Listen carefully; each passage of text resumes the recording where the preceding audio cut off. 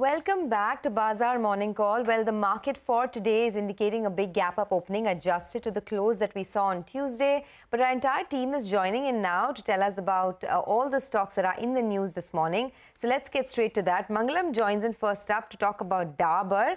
Uh, it's spicing up uh, its journey with an acquisition of Badshah Masala, something that perhaps either we have used or our mothers have used uh, when you know when we were children.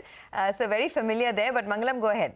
Whether you uh, use Badshah, Badshah Masala or not, you've definitely heard their, uh, you know, ad jingle. And that's uh, something that speaks about uh, the brand that, uh, uh, you know, Badshah is. So Dabur actually had a boringly inline quarter, but it spiced it up, like you said, with the acquisition. They've also announced a 326 crore capex for toothpaste and juices business, but it was Badshah that really took, you know, all the highlights away. As far as the numbers are concerned, 2986 crores on the top line, absolutely in line with expectations. 600 crores on the EBITDA. The street was working with 602 crores and 490 crores crores on the profit, but the street was working with 490 crores itself, 1% volume growth. The street was working with 0 to 1%. And now to the spicier bit. They've acquired 51% stake in Badshah Masala for 587 crores, valuing the company a little over a 1,000, 1,100 odd crores, and the remaining 49% will be acquired over the next five years. The deal is done at just shy of 5 times FY23 price to sales and about 20 times EV to EBITDA, which means that Badshah's derived FY23 revenues is around 256 crores and margins at around 23%.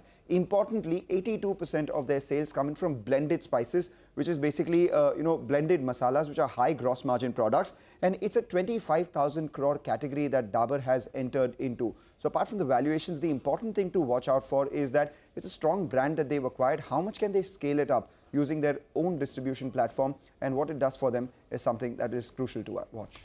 Okay, all right. Mangalam, thanks for that. Well, hop across to Ekta. She's here to tell us about Gland Pharma's numbers. Ekta? Thanks for that. Well, yes, for Gland Pharma, you know, overall, uh, there was a Q1Q recovery that the company reported, but it still missed expectations. So the revenue was down 3%. The street was anticipating a 9% de decline.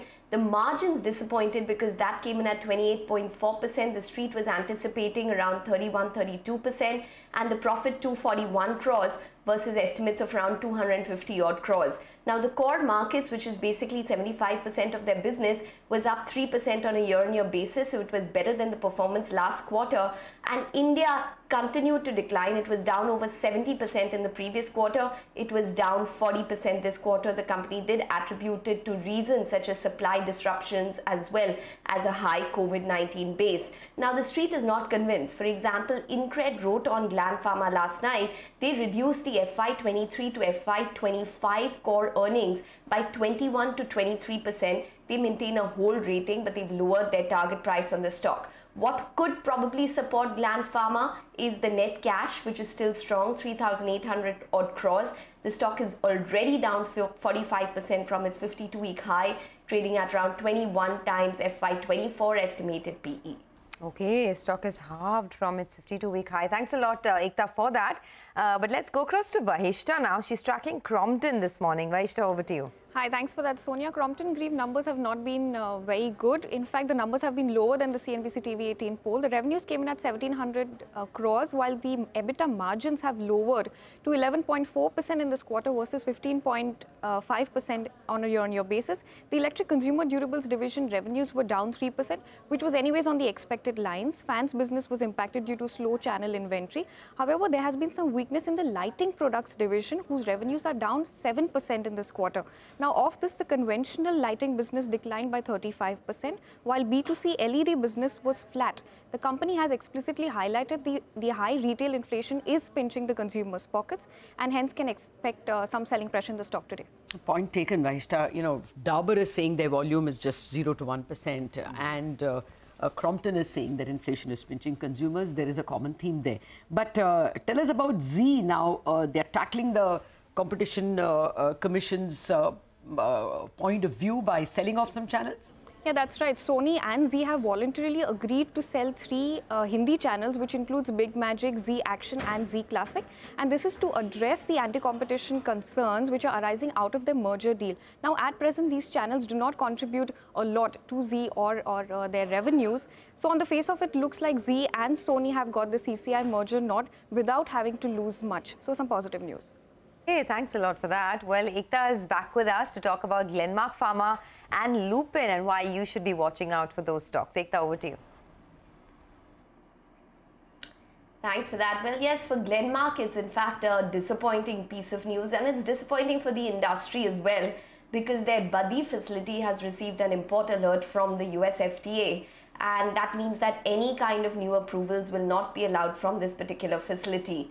Now remember that this plant was already under the US FDA scanner because they already have a warning letter which was issued to them in 2019.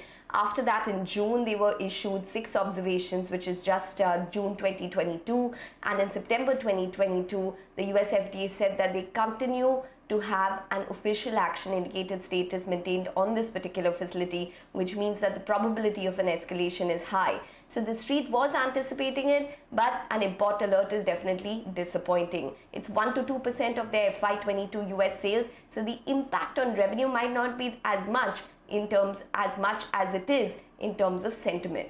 For Lupin, again, US FDA issues there. They, we have accessed the Form 483 which was issued to the biotech facility in Pune and they've received 18 observations from the US FDA. They have spoken about aseptic processing, monitoring, lack of adequate product evaluation, remedial action on actionable microbial contamination. So these are issues which are going to take a longer period of time for Lupin to resolve. So expect the stock to probably be in the red on account of this. Okay, thanks for that. Uh, so uh, a, a, bit of red for some of the pharma stocks.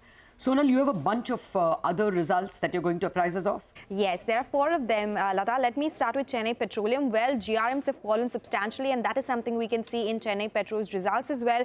Uh, revenue decline of 16%, EBITDA down 93%. We have margins at 1.2% versus 14.7%, leading to a profit decline of 99%. GRMs for the company, they came in at $4.5 per barrel versus $25 per barrel on a sequential basis. Remember, Singapore GRMs had fallen sharply from the peak and that is something we are seeing here as well.